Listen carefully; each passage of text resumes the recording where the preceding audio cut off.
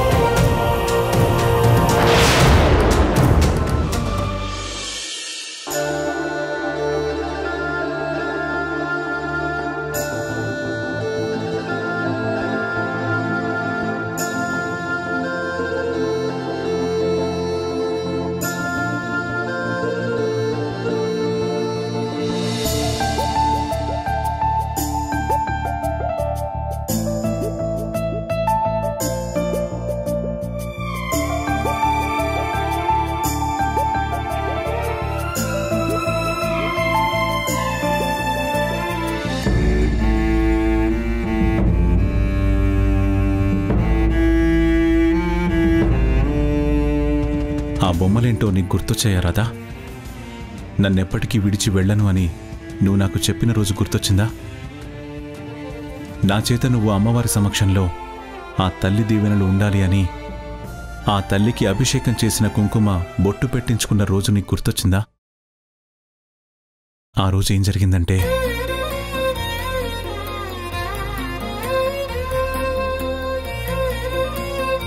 మురారి కారాపు.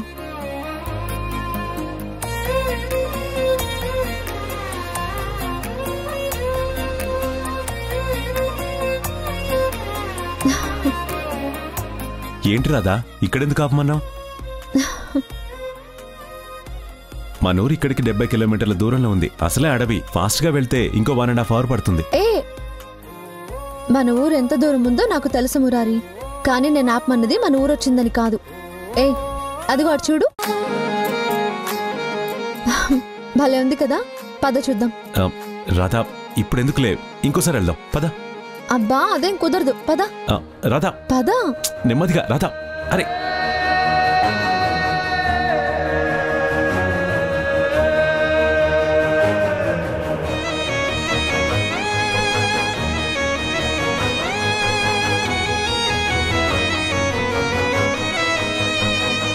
అమ్మవారు ఎంత కళగా ఉంది కదా. దేవత ఎక్కడైనా దేవతే. ఆ తల్లి మనందరినీ కాపాడుతూనే ఉంటుంది. ఈ తల్లిని ఇక్కడ అడవి తల్లిగా కొలుస్తారు. ఈ దారిలో ఎవరు వెళ్ళినా సరే ఇక్కడ బండాపి ఈ తల్లికి దండం పెట్టుకుని వెళ్తారు. చల్లగా కాపాడుతుందని అందరి నమ్మకం. నిజమే మురారి. ఇదంతా దట్టమైన అడవి ప్రాంతం. ఎటు నుంచి ఏ జంతువు ఎక్కడి నుంచైనా అటాక్ చేయొచ్చు. మనకి ప్రాణం పోసేది అమ్మ అయితే ఈ దారిలో వెళ్ళే వాళ్ళ ప్రాణాలు కాపాడేది ఈ అమ్మ. అందుకే అందరూ ఈ తల్లిని మొక్కుకుంటారనుకుంటా. ఖచ్చితంగా. తన కంటికి రెప్పలా కాపాడుతుందన్న నమ్మకం ఉండబట్టే కదా. చెట్టు కింద ఉన్నా సరే ఈ అమ్మని ఎవరూ తక్కువ అంచనా వేయకుండా దండం పెట్టుకుంటున్నారు. మనం ఎక్కువగా ఈ రూట్లో రాం కదా. ఎందుకంత ఎమోషనల్గా ఫీల్ అవుతున్నావు? లేదు మురారి. నిన్ను నన్ను కలిపిందేంటి ఈ నేచరే కదా. నీకు నాకు ప్రకృతి అంటే చాలా ఇష్టం. ఎప్పుడు పచ్చటి పంటలు పండించాలని పచ్చటి చెట్లు ఎదగాలని ఆ పచ్చదనంలోనే మనుషుల జీవితం సంతోషంగా ఉంటుందని నువ్వు నేను కోరుకుంటున్నాము. అందుకే కదా ఇంత పెద్ద చదువు చదువుకున్నా నువ్వు మీ ఊరొచ్చి వ్యవసాయం పనులు చూసుకుంటున్నావు. ఊర్లో విత్తనాల ఉత్పత్తి కేంద్రం ఏర్పాటు చేయాలని తద్వారా వ్యవసాయాన్ని మరింత పెంచాలని రైతులకు ఇంకా మంచి మంచి అవకాశాలు సృష్టించాలని నువ్వు ప్రయత్నిస్తున్నావు కదా. అది నచ్చే కదా నేను కూడా నీతో వచ్చేసింది. నిజమే రాధా. ఈ ప్రకృతిని అందరూ కలిసి నాశనం చేస్తున్నారు. ఆనందం పెద్ద పెద్ద భవనాల్లో ఉందనుకుంటున్నారు. దాని గురించి చెట్లను తీసేస్తున్నారు. కానీ నిజమైన సంతోషం పచ్చని ప్రకృతి మధ్యలో ఉంటుంది. చుట్టూ పచ్చని పొలాలు ఆకాశాన్ని తాకే చెట్లున్నాయంటే అది భూమి మీద ఉండే స్వర్గంలా కనిపిస్తుంది. ఈ చెట్లు మనకి ఆక్సిజన్ ఇస్తాయి ఆహారాన్నిస్తాయి వంట చేయడానికి కలపగా ఉపయోగపడతాయి. ఇలా మొక్కల వల్ల మనుషులకెన్నో ఉపయోగాలున్నాయి. కానీ అవే మొక్కల్ని మనం మాత్రం చాలా నిర్లక్ష్యం చేస్తున్నాం. అలా చేయకూడదనే నేను వ్యవసాయం గురించి ఇంతలా ఆలోచిస్తున్నాను. నా దృష్టంతా నేచర్ గురించే.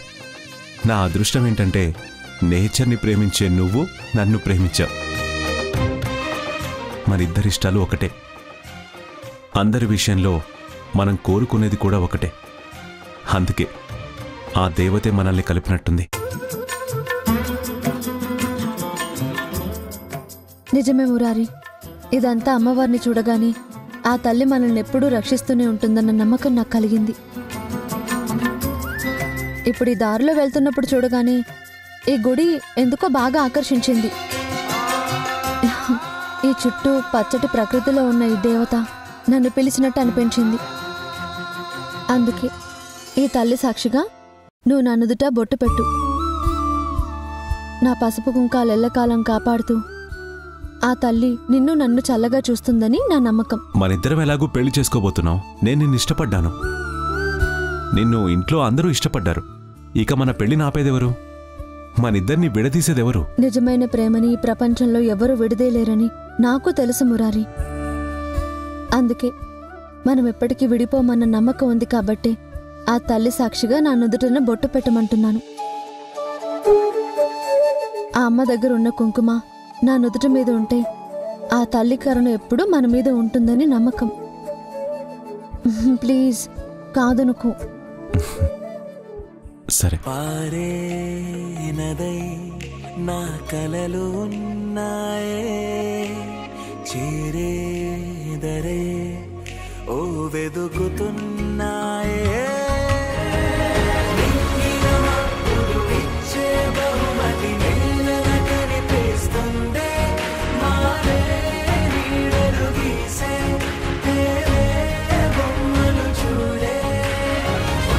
అమ్మా రాదంటే నాకెంత ఇష్టమో నేను ప్రత్యేకించి చెప్పక్కర్లేదు. నా ప్రాణమే తను. ఈ ప్రాణం ఎప్పుడు నాతోనే ఉండేలాగా నువ్వే కాపాడాలి. అమ్మా మురారి నాకు గొప్ప జీవితాన్ని ఇస్తున్నాడు గొప్ప కుటుంబాన్ని ఇస్తున్నాడు అనాథగా ఉన్న నాకు ఇంతమంది ఆప్తులు రావడానికి కారణం నా మురారి. మురారి ఎప్పుడు బాగుండేలా సంతోషంగా ఉండేలా నువ్వే కరుణించు.